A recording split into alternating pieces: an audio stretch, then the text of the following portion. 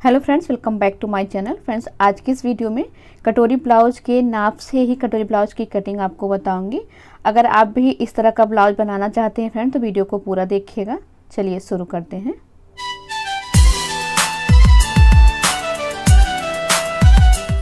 तो देखिए फ्रेंड्स यहाँ पे जो ब्लाउज की हम कटिंग करेंगे, इसी ब्लाउज के नाप से करेंगे। और ये हमारे ब्लाउज का मेन कपड़ा है। ये देखिए।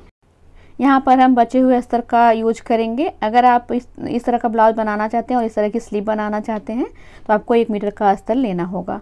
अभी देखिए हमने अस्तर को डबल फोल्ड कर लिया है। चेस्ट हमारी साढ़े आठ इंच है तो हमने साढ़े ग्यारह इंच पे फोल्ड किया है।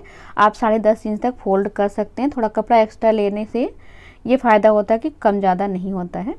अब हमने नाप लेना है फ्रेंड्स। नाप में हम सबसे पहले बैक साइड से इसे रखेंगे और देखिए शोल्डर पे हमने इंची टेप को रखना है और जहाँ पे हमारी टैक्स है, वहाँ पे रखेंगे। ब्लाउज की लंबाई हमारी साढ़े बारह इंच आ रही है। गले की लंबाई देखिए फ्रेंड्स, आपको इस तरीके से स्केल रख के नाप लेना है तो दस इंच हमारे गले की लंबाई है। और आर्म होल के पास भी आपको इस तरीके से स्केल रखना है तो हमारा आर्म होल आ रहा है साढ़े पाँच इंच।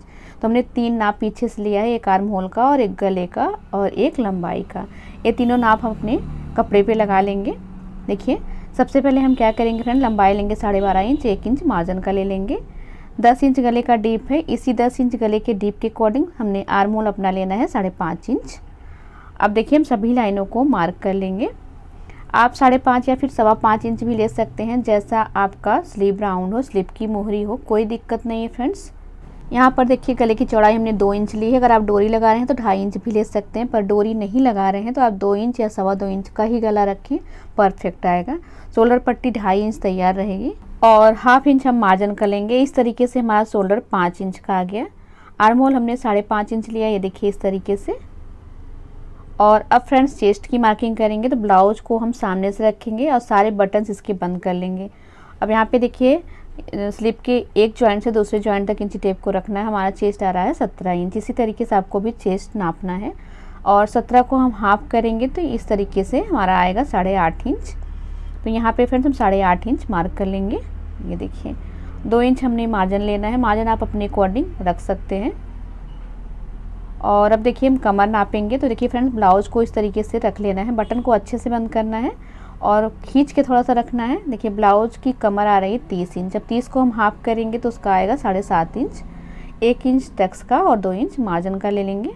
इस तरीके से कटिंग और फिटिंग की लाइन को मार्क कर लेंगे। फ्रेंड्स हमने आपको पहले भी बताया कटोरी ब्लाउज में इसी मार्किंग के अकॉर्डिंग हम फिटिंग लगाते हैं, ब्लाउज एकदम परफेक्ट आता है। अब देखिए आर्मोल की लाइन को हम हाफ़ करेंगे और आर्मोल का शेप दे देंगे। ये आर्मोल का जो शेप है, एकदम परफेक्ट तरीके से आना चाहिए, क्योंकि इसी आर्मोल की गोलाई से ही हमारे ब्लाउज की फिटिंग आती है। ये देखिए, हम आर्मोल की गोलाई को नापेंगे फ्रेंड्स यहाँ पे साढ़े सात इंच है और अपना भी नाप लेते हैं। देखिए, ये भी साढ़े सात इंच है, यानी कि हमारा आर्मोल एकदम परफेक्ट है। अब हम हाफ़ इंच शोल्डर को डाउन कर देंगे गले की साइड डीप निक पे आप अगर इस तरीके से करते हैं फ्रेंड्स, आपका गला बिल्कुल भी नहीं उतरेगा और यहाँ पे हाफ़ इंच आपको उठा देना है। ये दो काम तो ज़रूर करना है अगर आप डीप निक गला बना रहे हैं।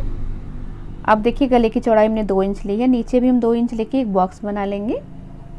एकदम सीधा बॉक्स बनाएँगे और अब इस पर हम गले का मटका सेप देंगे फ्रेंड। देखिए हाफ़ इंच अंदर की साइड लेना है और फिर बाहर की साइड हमने एक इंच लिया है। बाहर की साइड आप अपने अकॉर्डिंग जितना ब्रॉड रखना चाहे रख सकते हैं।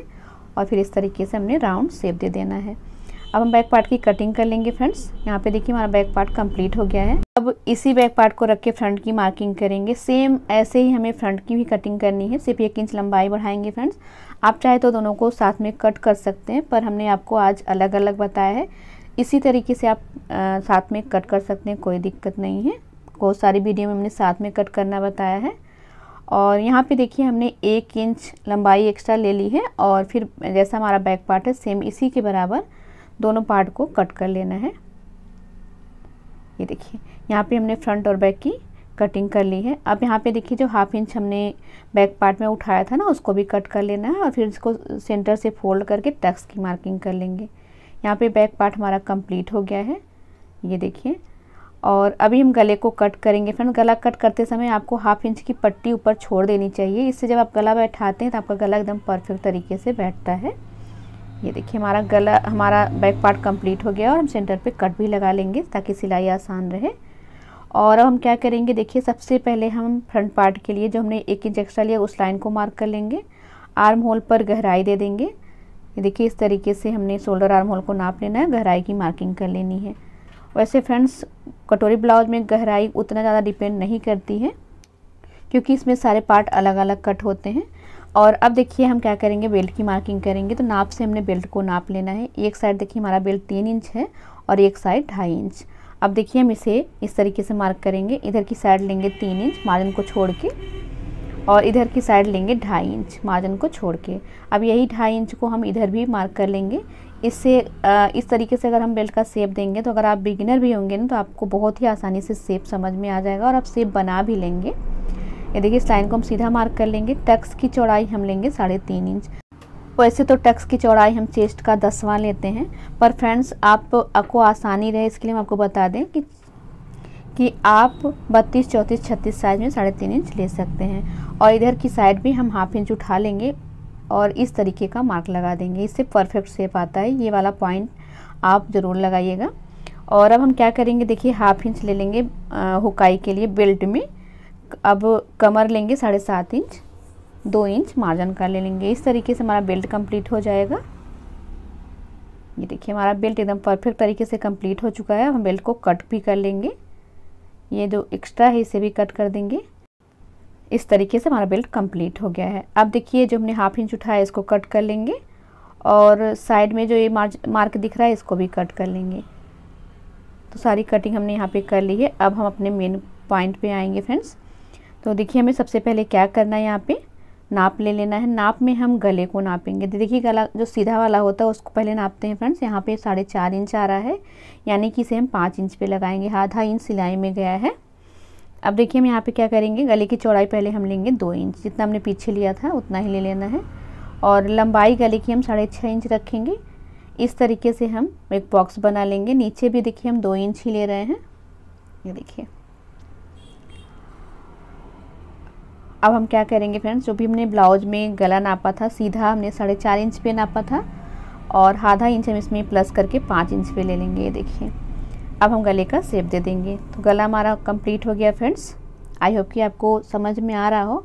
यहाँ पे हम गले को थोड़ा ब्रॉड करेंगे। आप ब्रॉड करना चाहे तो कर सकते हैं, नहीं तो आप उसी पे रहने दें। हमने ब्रॉड किया है, उसे चौड़ा बनाया है।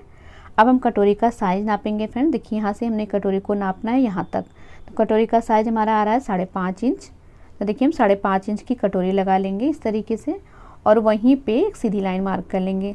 देखिए बहुत ही आसान तरीका है फ्रेंड्स। अब यहाँ पे देखिए हम ढाई इंच लेते हैं। पर फ्रेंड्स, अभी हम ढाई इंच नहीं लेंगे हमको कटोरी का सेप देना बताते हैं। देखिए, कटोरी का सेप परफेक्ट आना चाहिए। आप ढाई इंच ले रहे हैं तो आपको ये नहीं है कि उसके अंदर नहीं जाना है, बल्कि आप गहराई कम कर दें। पर कटोरी का सेव और साइड का पार्ट एकदम अच्छे से कम्प्लीटली परफेक्ट होना चाहिए। चाहे तो आरमोल की गुलाई को आप कम कर सकते हैं, कोई दिक्कत नहीं होगी। यहाँ पर आपका ढाई इंच आना चाहिए और कटोरी का सेप परफेक्ट होना चाहिए। फ्रेंड्स ये हम अपना तरीका आपको बता रहे हैं। आज तक हमने जितना ब्लाउज बनाया, हमने कटोरी ब्लाउज में कभी भी झोल नहीं देखा आगे की साइड इसीलिए हम आपको एकदम पूरे विश्वास के साथ बता रहे हैं, आप इस तरीके से कटिंग करेंगे, कोई दिक्कत नहीं आएगी। अगर आपने ध्यान से कटिंग करी है तो। अब देखिए हम क्या करेंगे, यहाँ पे मार्मूल की गहराई को कट कर लेंगे। तो साइड का पार्ट और बेल्ट का पार्ट हमारा कंप्लीट हो चुका है। अब हम क्या करेंगे फ्रेंड्स कटोरी को अलग से कट करेंगे। इसके लिए देखिए हमने कपड़े को उस तरीके से डबल फोल्ड में रखा है। और आपको कटोरी की कटिंग देखिए कॉर्नर पे रख के करनी। यहाँ पे कपड़ा जो है स्ट्रेचेबल होता है क्रॉस में होता है। तो इस तरीके से आपको कटोरी का सेप उतार लेना है। आप लोग कहते हैं कि हमारी कटोरी जो खींचातानी होती है अरबी कपड़े में, ऐसा कुछ नहीं है। सिलाई में आप कमी करते होंगे, तभी खींचातानी आएगी फ्रेंड्स बाकी आपको कटोरी हमेशा इसी तरह से ही कट करनी है, अगर परफेक्ट सेप चाहते हैं तो। अभी देखिए हमने कटोरी का सेप उतार लिया और हाफ़ इंच छुकाई का भी मार्क कर लिया है। और अब देखिए आपको इंची टेप को इस तरीके से रखना है। साढ़े आठ इंच की माई चेस्ट है साढ़े आठ इंच की कटोरी आनी चाहिए। जितना आपका चेस्ट हो, चेस्ट का चौथाई आपकी कटोरी का साइज़ आना चाहिए। अब देखिए इस इधर की साइड हमने इस तरीके से मिलाना है और इधर की साइड के लिए हमें क्या करना है, ये देखिए इस कटोरी को उठाएँगे। यहाँ से इस पॉइंट पे मिलाते हो देखिए एकदम लाइन पे सीधा रखना है। और जैसा हमारे कटोरी का सेप है, आप देखिए स्किन पे देख के समझ पा रहे होंगे फ्रेंड्स सेम इसी तरीके से उतार लेना है। तो आपका सेप एकदम परफेक्ट आ जाएगा। इधर की साइड हमने इस तरीके से सेप दे देना है। अब हम जितनी हमारी कटोरी का साइज़ आ रहा है, देखिए साढ़े आठ इंच है, इसको हम हाफ़ कर लेंगे। ये देखिए, बहुत ही आसान तरीका है फ्रेंड्स बस आपको एक बार समझना है। आप भी परफेक्ट ब्लाउज बना लेंगे, कोई दिक्कत नहीं आएगी, कोई दिक्कत आती ही नहीं फ्रेंड बहुत ही आसानी से ये बनता है।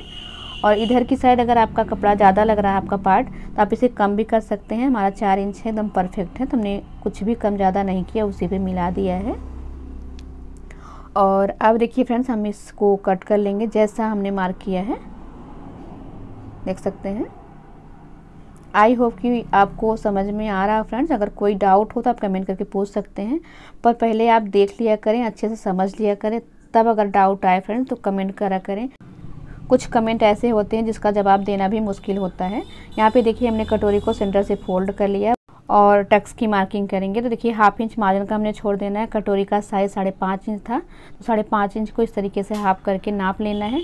जो कपड़ा बच रहा है, वही टक्स के लिए मार्क कर लेना है। देखिए, इतना हमारा टक्स के लिए कपड़ा आ गया है। कट लगा लेंगे। यहीं तक हम टक्स लगाएँगे।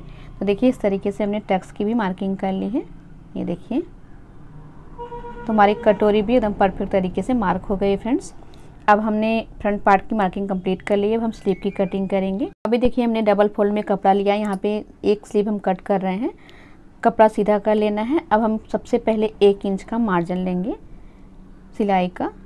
तो इस लाइन को हम मार्क कर लेंगे। और फ्रेंड्स, हमारे पास नाप है तो हम नाप को ही रखकर स्लिप की कटिंग आपको बताएँगे। तो देखिए, अगर आपके पास नाप हो तो आपको इस तरीके से स्लिप की कटिंग कर लेनी है। बहुत ही आसान तरीका है। यहाँ पे देखिए, इस तरीके से आपको एकदम सीधा रखना है, ऊपर की साइड और मोहरी की साइड। और इसे देखिए, इस तरीके से खींच के रखना है और यहाँ का पॉइंट मार्क कर लेना है। और यहाँ पे हमने सीधा डेढ़ इंच रखना है। और अब देखिए, यहाँ से इसको ला के मिला देना, स्लिप का सेप अपने आप ही बन जाएगा।